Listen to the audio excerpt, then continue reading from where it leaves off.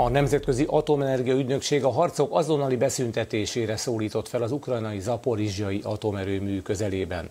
Kijev szerint a létesítmény egyes részei súlyosan megrongálódtak az orosz katonai csapások következtében. Moszkva szerint viszont csak kevésen múlt, hogy az ukrán erők lövései miatt radioaktív anyag kerüljön a környezetbe.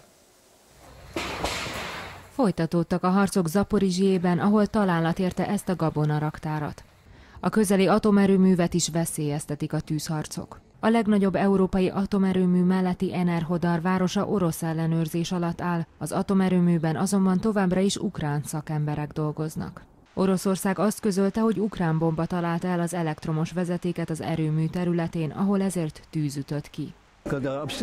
Amikor Enerhodart lőtték, akkor a hőerőművet és az atomerőművet is találatok érték.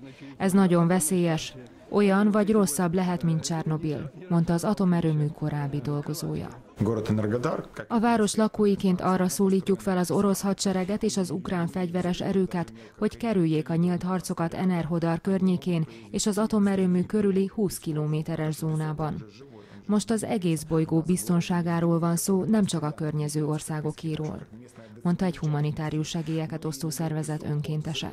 Kiev szerint viszont az orosz katonai csapások miatt rongálódtak meg a létesítmény egyes részei.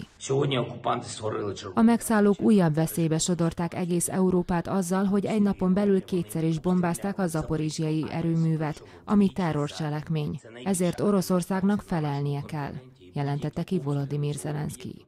Az ukrán állami atomenergiaipari vállalat azt közölte, hogy hat reaktorból kettő termel az erőműben, és nincs radioaktív sugárzás. Eközben újabb négy teherhajó indulhatott útnak Ukrajna fekete-tengeri kikötőiből több mint 160 ezer tonna kukoricával a fedélzetükön. Az Ukrajnából induló hajók rakományát először a török hatóságok ellenőrzik, a török közvetítéssel létrejött megállapodás alapján.